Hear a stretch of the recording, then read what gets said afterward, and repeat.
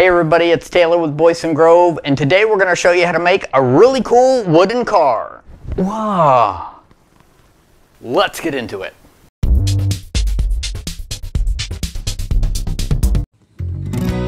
I started this toy by pulling a few 2x4 cutoffs out of the burn pile.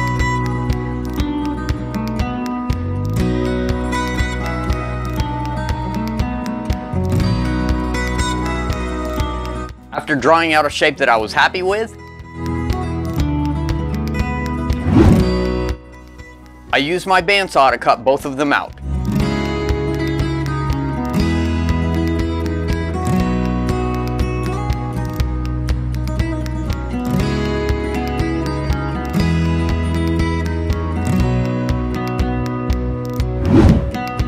Then I used the table saw to give the cutouts nice smooth flat sides so I could glue them together.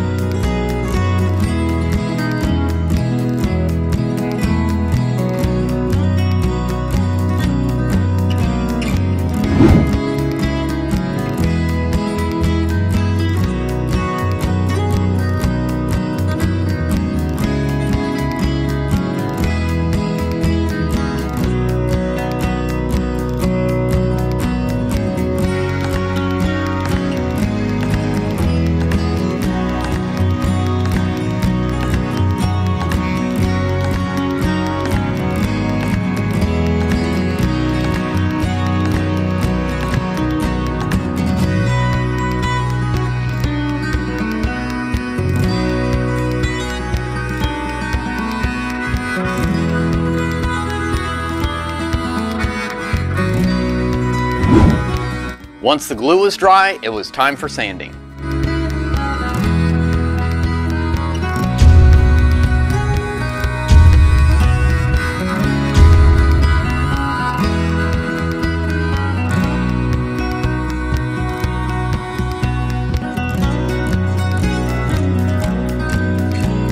After some thought, I decided the car didn't look quite right, so I grabbed a piece of old cedar tongue and groove that I had pulled out of a closet of our house.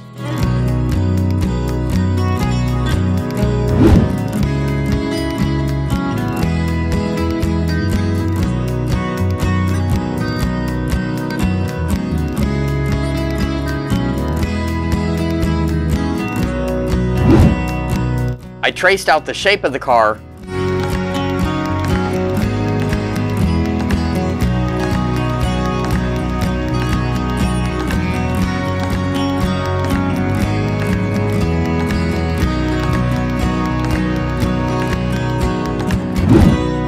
and cut the pieces out on the bandsaw.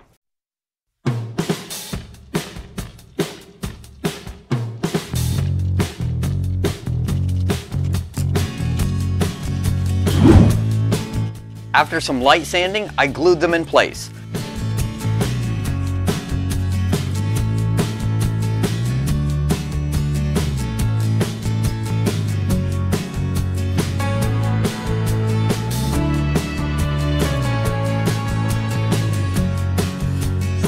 I could have clamped them up and waited for the glue to dry, but I wanted to keep the project moving, so I tacked them in place with my pin nailer.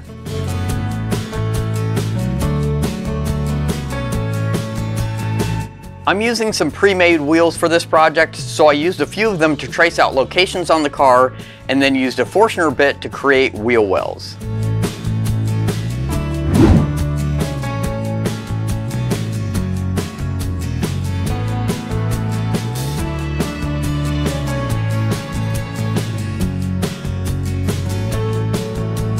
And here's where I got a little ahead of myself and broke one of the cedar cutouts. But a little glue and some pin nails and we're back in action.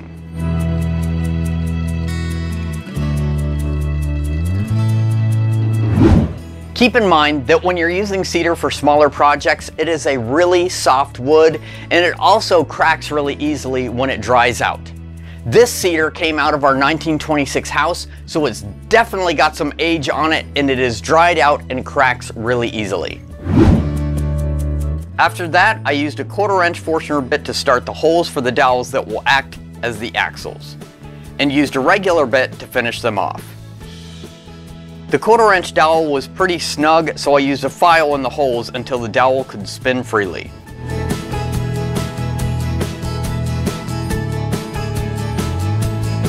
Then it was back for more sanding. I also used a Dremel to bevel the hard to reach areas like the wheel wells.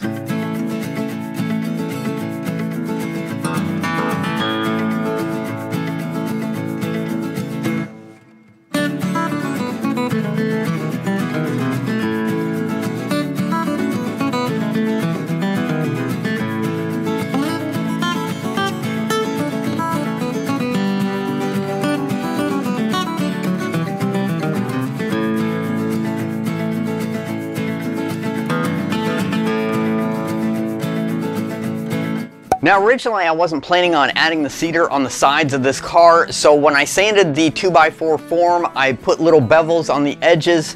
So then when I actually added the cedar on the sides, it left little visible seams between the cedar and the 2x4 form. Now I could just wood putty this, but wood putty doesn't take finishes very well, and I really wanted to keep this car natural wood.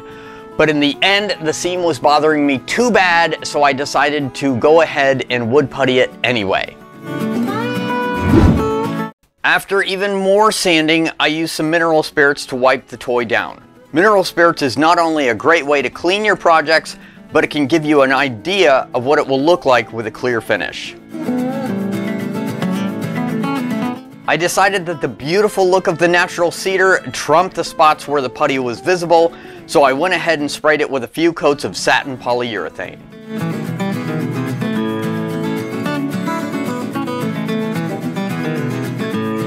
While assembling, I added some wax to each dowel to help them spin freely.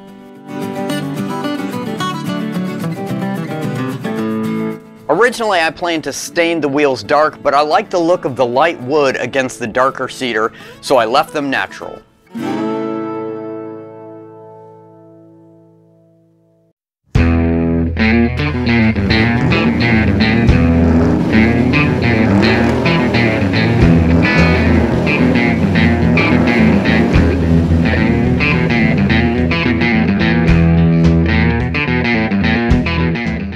Alright, our wooden toy car is finished. It's really hard to believe that this was just a few cutoffs from the burn pile along with some old tongue and groove that I had laying around. It really came out nice and it was a really quick project, something that you can do on a weekend or over an evening. One of the reasons I like this project is you can take it as far as you want to. You can leave it plain like I did or you can cut out headlights and bumpers or you can use your scroll saw to cut out the windows. You can add details and paint it. You can wood burn details on it.